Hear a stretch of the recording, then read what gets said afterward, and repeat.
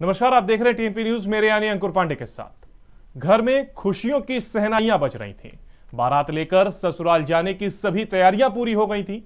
इसी दौरान गागल हेड़ी पुलिस ने छापा मार दिया और दूल्हा बनने से पहले ही नूर मोहम्मद के बेटे चाँद सहित नौ लोगों को पुलिस ने गिरफ़्तार कर सलाखों के पीछे भेज दिया।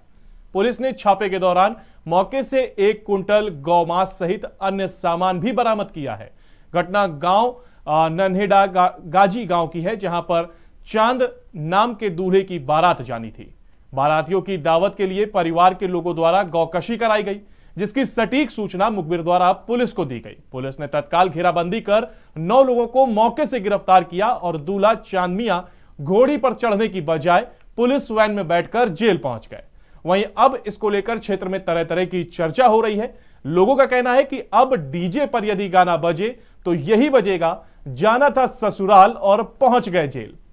कुल नौ नफर गोत वंश के वध से संबंधित अभियुक्तों को गिरफ़्तार किया गया, जिनके पास से लगभग एक क्विंटल, लगभग एक क्विंटल गोवंश मांस बरामद किया गया। साथ में ही दराती एवं कुल्हाड़ी, चाकू इत्यादि जब्त किए गए।